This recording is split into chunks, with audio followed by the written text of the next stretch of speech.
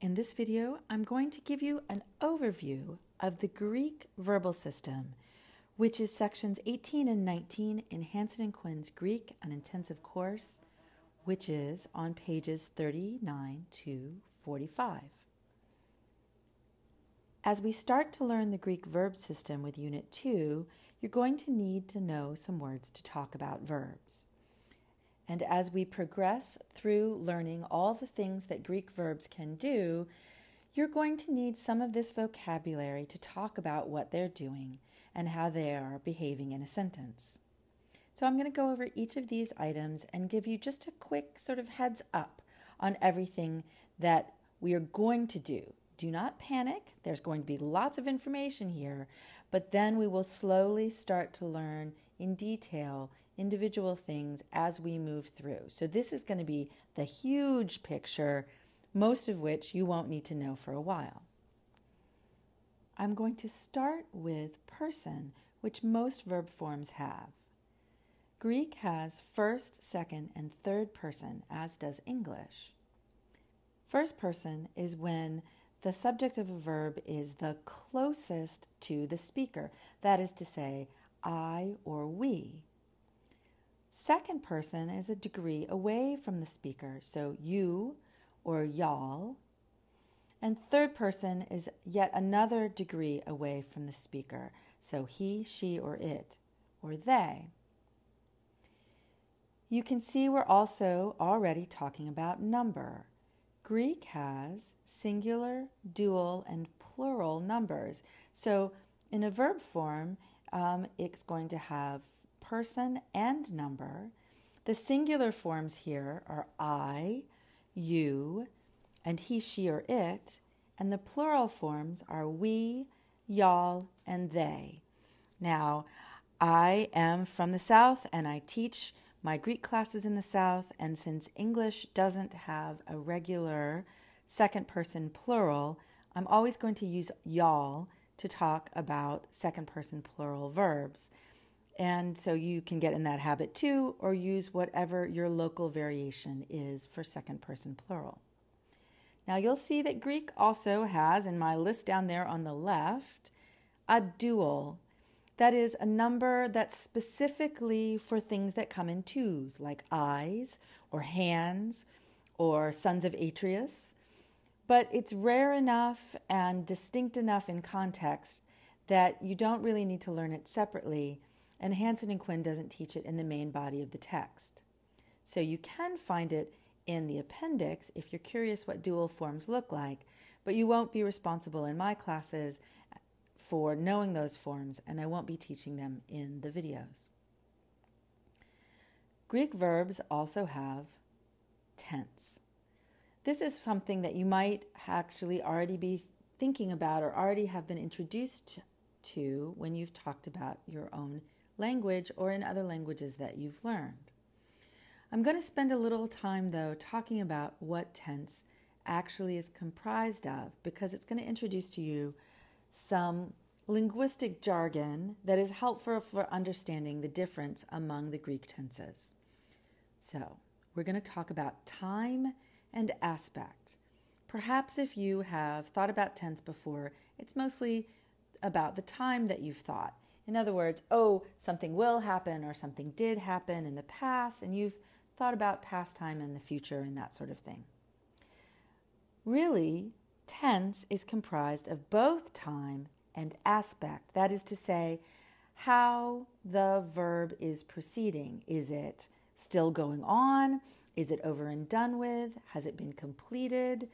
Is it simply an action you're talking about in some sort of simple way?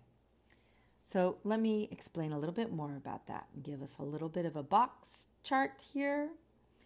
Present time is one of the three times we'll talk about. There's also future time and past time. That all kind of makes sense. You've probably thought about those things before. Greek and many languages are also concerned with aspect. There's simple aspect when you're simply talking about an action without any concern about its progress or not. Progressive repeated aspect, when you want to make sure that people know that the action you're talking about went on for a long time or is still going on or got repeated lots of times. And there's also completed aspect. When what you're talking about is over and done with and you want to give some emphasis to the fact that it is completed. The tenses in Greek combine these two things. And when you know what the time is and the aspect is, you'll know which tense to choose for Greek. So, present time and simple aspect are the two factors of the present tense in Greek.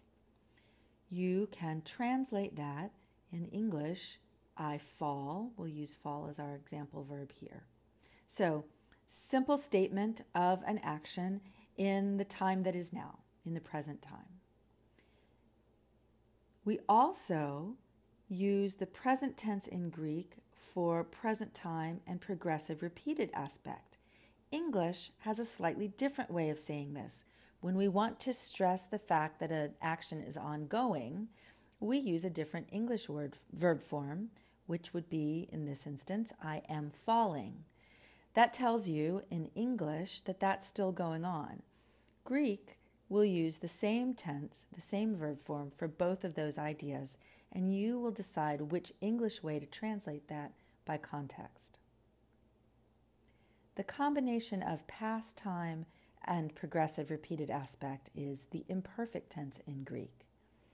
And in English, that's most easily translated by I was falling or I used to fall, both of which indicate that an action happened in the past, that's the past time, but it went on for a long time, or that you did it over and over again sometime in the past. If you combine future time and simple aspect, you get Greek's future tense. So, I will fall.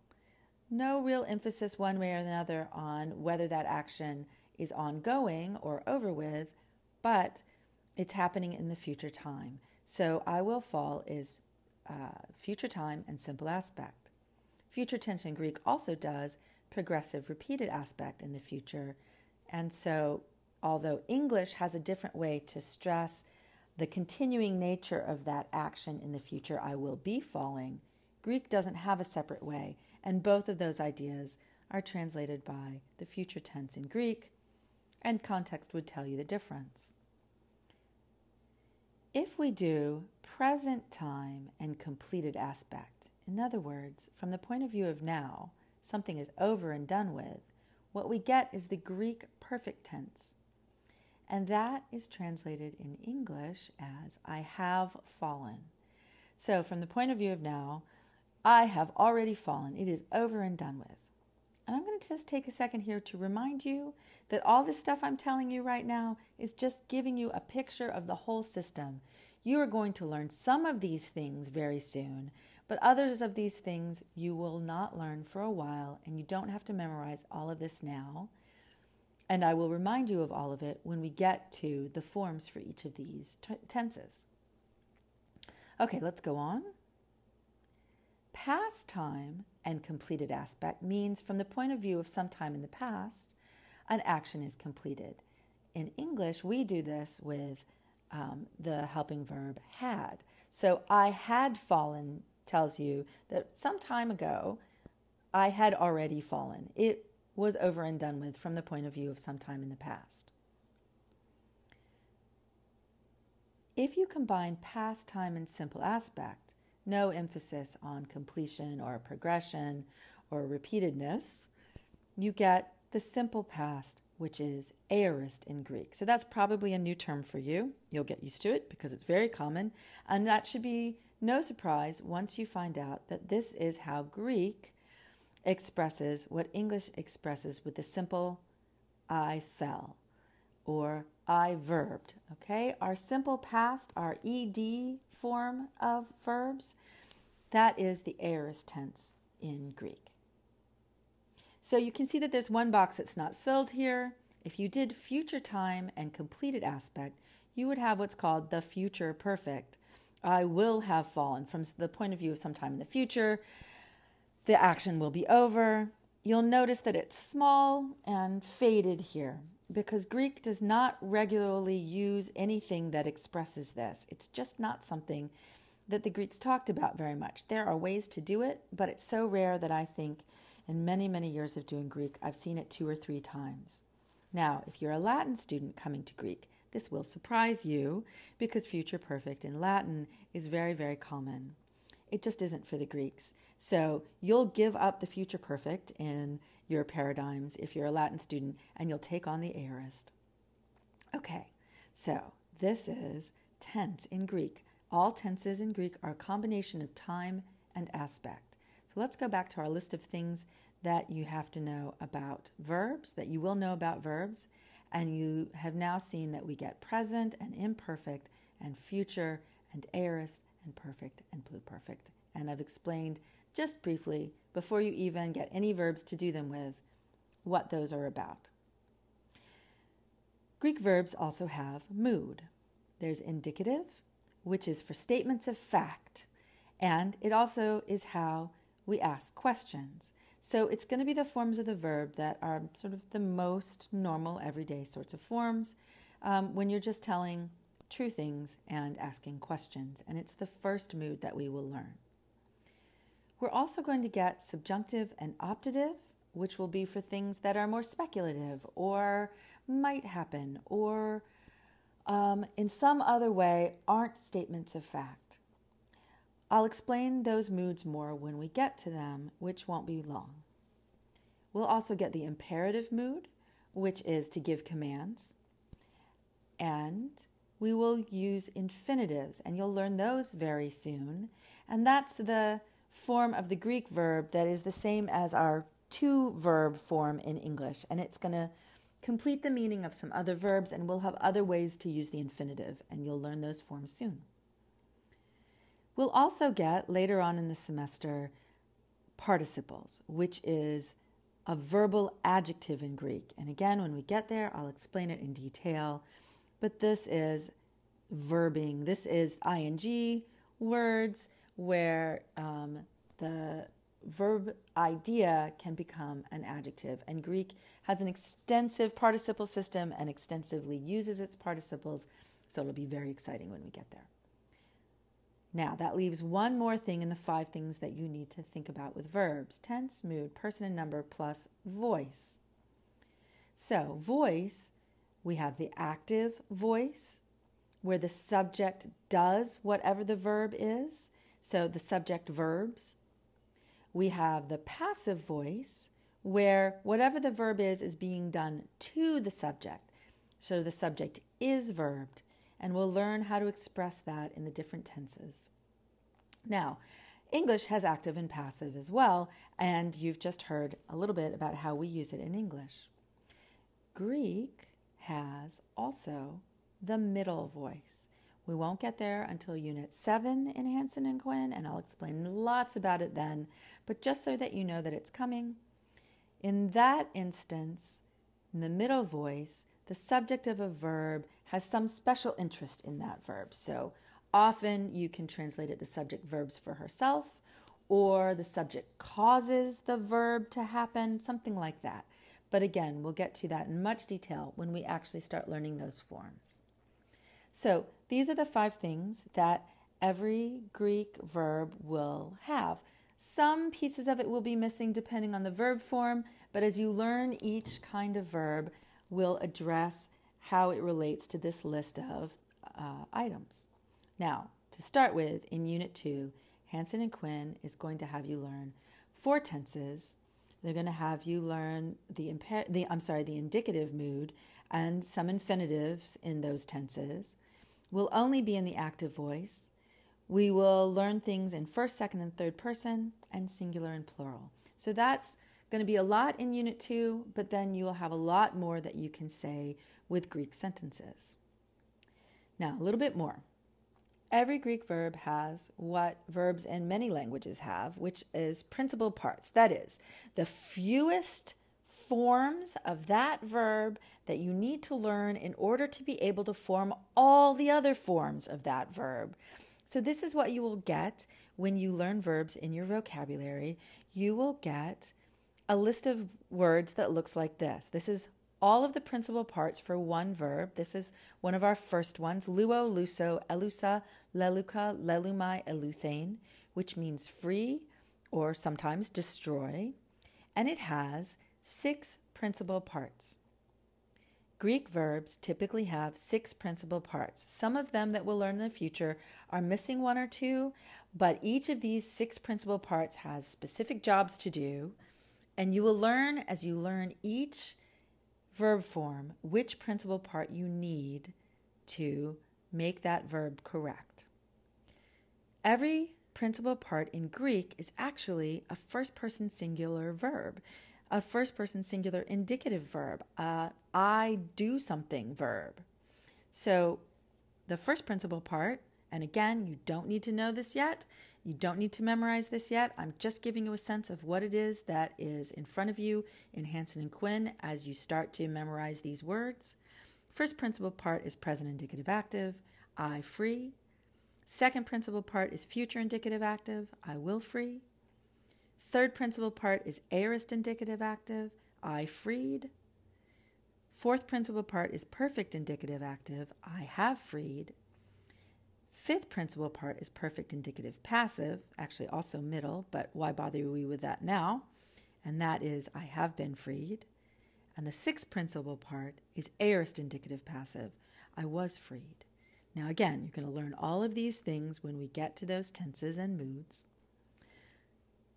But I wanted you to see that these words actually mean something and that there's a consistent logic to what each of these principal parts does when we actually start to learn how to make all the different forms, you will go to the principal parts and look at the end of the verb and the beginning of the verb to decide what it is that it's doing in the sentence that you have and how it matches up with all those five tense, mood, voice, person, and number things that we're going to learn.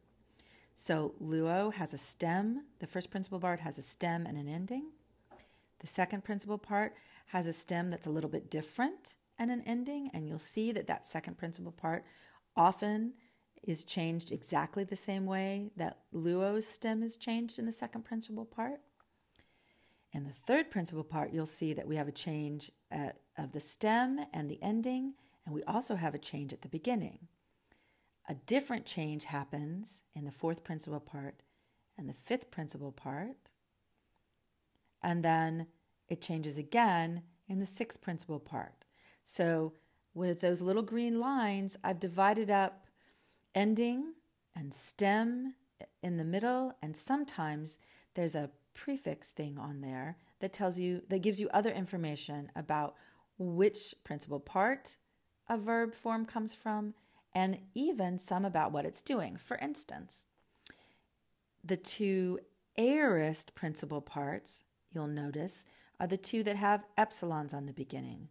And when we learn the aorist really soon, you'll discover that that's an important marker for past time. You'll also see that the two perfect principal parts have a sort of hiccupy beginning there, where it repeats the first sound of the stem with an epsilon. That's called reduplication. And reduplication turns out to be a marker for completed aspect. So that's a little bit of um, detail for the linguistic nerds, but it also helps you identify what verb form you're looking at. So, again, don't worry too much about taking all of this in now, but these are the things that the principal parts will help you see and the reasons why you need to learn all six principal parts every time you learn a new verb. That's it for the big giant Greek verb overview, and now you can go on to learning the actual present indicative active of Greek verbs.